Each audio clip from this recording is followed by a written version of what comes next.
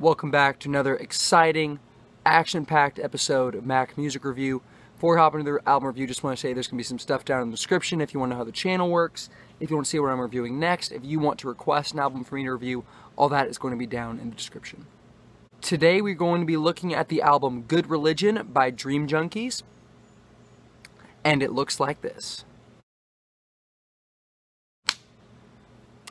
Dream Junkies are a Christian rap group. There really are not a whole lot of those. When you hear Christian rap group, you're probably thinking DC Talk or Social Club Misfits, or the most famous right now is probably uh, 116. But really, there aren't that many, and these guys are the actual members of Dream Junkies are Ruslan, he's the white guy, um, John Givez, he's the young black guy who smokes, and um, Bayleaf, who's the big guy who's also a dad. And so that's basically all you gotta know about their personalities and everything.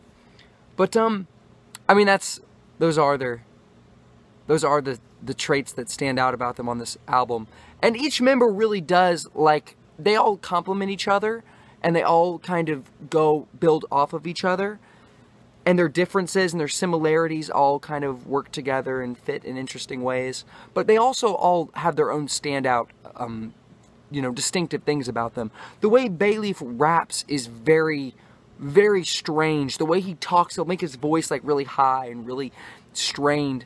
And then um, John Givez just sounds really relaxed, and he sounds like the most traditional rapper of the group. He sounds like something you would expect from, I guess, a lot of rappers.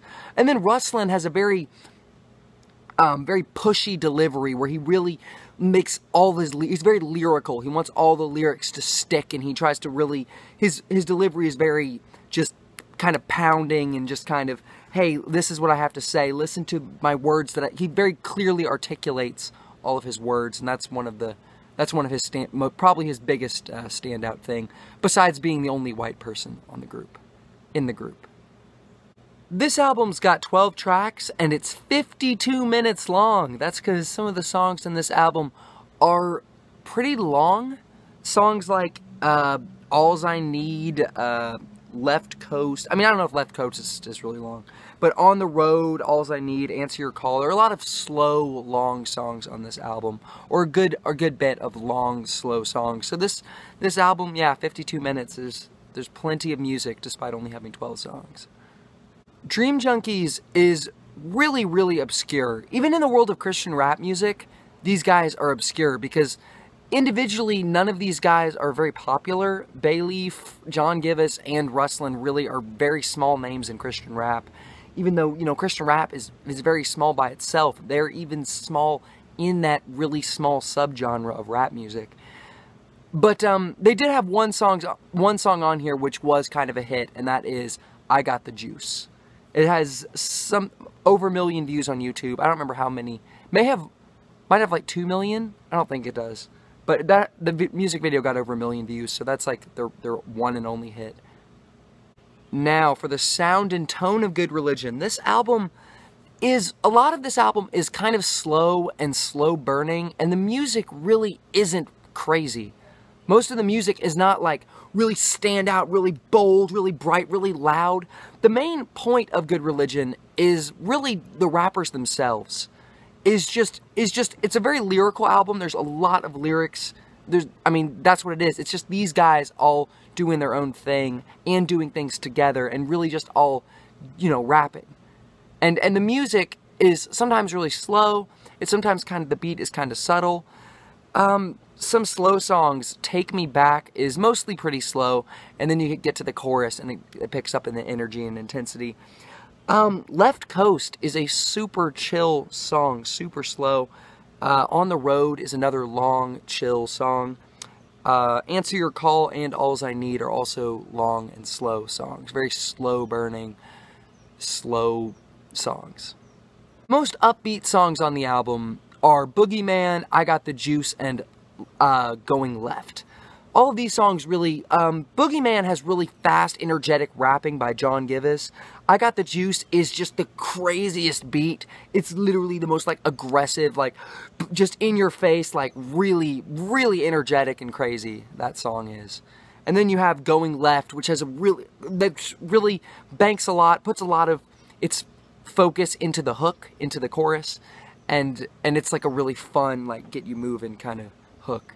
But besides that, this album really is is kind of slow, or some of it, it sounds kind of dark, and it's not super upbeat or energetic. The lyrical content on this record, eh, one of the things about this record is most of the songs don't have like a super concrete theme and focus of the lyrics. Like I said, it's mostly this album is a lot a lot of this album is really just a tool for these guys to just do and say whatever they want. Uh, on intro, there's intro is a very poetic song, and it's kind of like these big, deep questions that um, Bayleaf is asking, and it's you know it's it's kind of serious. It's kind of a kind of a serious song. You also have songs like uh, Boogeyman, which is the lyrics can be interpreted in different ways. There are a lot of different things that Boogeyman could be referring to that uh, John Givez is talking about. And then you got I Got the Juice, which is mostly just a hype up track. Um, Shoot Me is a very aggressive song where they're talking about, man, you guys might shoot me because blah, blah, blah, blah and they're just saying all this stuff like Ruslan is like, I'm gonna say all this stuff that's like slightly controversial and you guys might get upset with me and want to shoot me. And so it's kind of it's kind of dramatic. And then you have um, Showbiz, which is a very fun, upbeat song about them talking about doing a live show. Mostly Ruslan talking about doing a live show and talking about his white privilege, and it's funny. It's a funny song. And then you have uh, Answer Your Call, uh, All's I Need. They're both very serious songs. Secondhand Smoke, the whole the whole chorus, the whole hook of that song is based on John Givez's uh, smoking habit. He smokes, and th- that's actually name checked. That's actually referenced throughout the album. Different songs they reference how John Givez smokes. So, so that's a thing.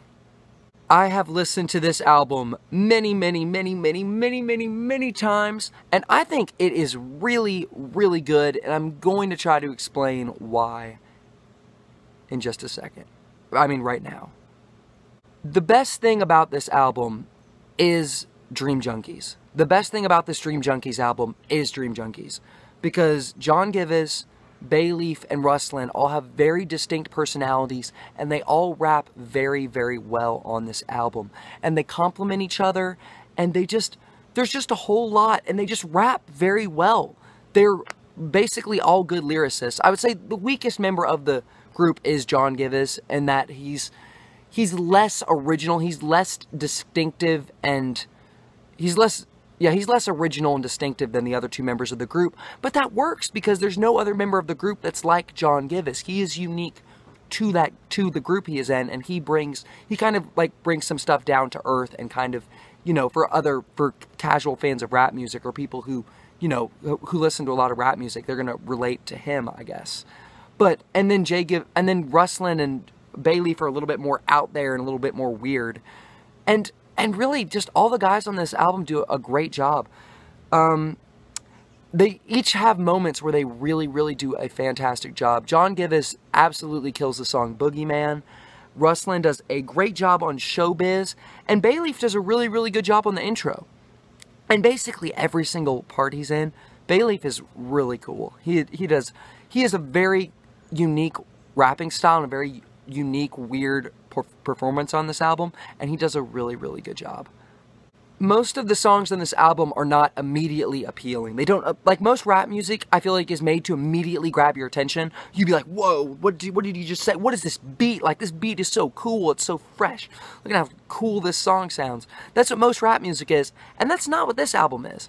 In a way, this album might be kind of like a throwback hip hop album where or rap album where they really just focused on the rapping and the beat was just kind of to as a backdrop to the actual rapping because that's how I feel like this album is. A lot of the music is kind of subtle, isn't super in your face, grabbing your attention. But I mean that works for the that works in the album's favor because the songs just get better and better and better when you really peel back the layers and really hearing what they're saying and really just just noticing how good each member's chemistry and performance is on this album. Some of the best songs in this album are uh, Intro. Intro is just really really good music on this one. Really stand out music and performance by Bayleaf and and basically everybody. That it's a really memorable, uh, strong song. Boogeyman is really good. It's not the best song on the album. It's still really good. John Givez does a great job, and it's really cool. I Got the Juice is the craziest, most one of the most awesome, fun, just awesome rap songs I've ever heard. It is so cool. You, if you're gonna listen to one song on this album, listen to I Got the Juice. It doesn't represent the album very well because most songs do not have that energy that's on that song, but it is it's a lot of fun. It's really cool.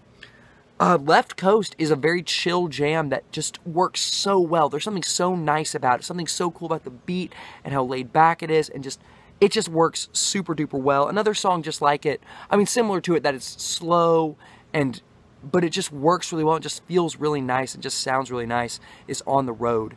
That has grown to be one of my favorite songs in this album. I originally didn't like it that much because of how slow it was, but it really is a good song and it sounds really good.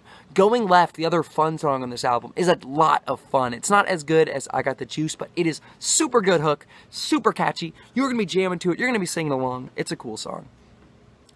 Yeah. This album is really good the performances the best thing about this album is the characterist is the personalities and characteristics of the members of the group and how they complement each other and how they stand out and how they have chemistry together and they all just do a fantastic job. And that makes this a rap album that's actually more than beats. This album really goes beyond just sounding good more goes beyond being well produced. It's actually well rapped. It's well sung. It's it's the rapping on it is good. The rappers on this on this rap album actually stand out, have a lot of personality, and that is the best thing about this project. And it really, really makes it stand out. I would say uh, some of the music on this album is really, really good. Some really, there is some really good production, even though, like I said, it's not immediately, you don't, it's not, some of it's more subtle, so you don't immediately love it, but it really grows on you. This is an album that gets better and better with each listen. I'm the only problem with this album is the song "Answer Your Call" and "All's I Need" because I think they're a little bit too slow. They could be more upbeat. They could be more effective with slow songs because there are better slow songs on this album. I'm gonna give this album a 4.25 out of 5. Thank you for watching the video. What is your favorite Dream Junkie song? This is interesting. This is like the only album they've ever done. I don't know. They probably broke up after this because rappers generally rappers don't have like long hiatuses. They you know the point of rap music is Uh, one of the things, big things about rap music is you're just constantly creating, you're constantly dropping singles, constantly collabing. And I really haven't kept up with these guys. I know, I, yeah, I think I heard that Bayleaf quit rapping. He's no longer a rapper. So, I guess Dream Junkies doesn't exist anymore. I don't know what's up with John Givez. I don't know what's up with Ruslan. I don't keep up. That's an interesting thing about this album. I do not keep up with the members individually, but I love it when they work together on this album. They really all do a fantastic job. Thank you for watching.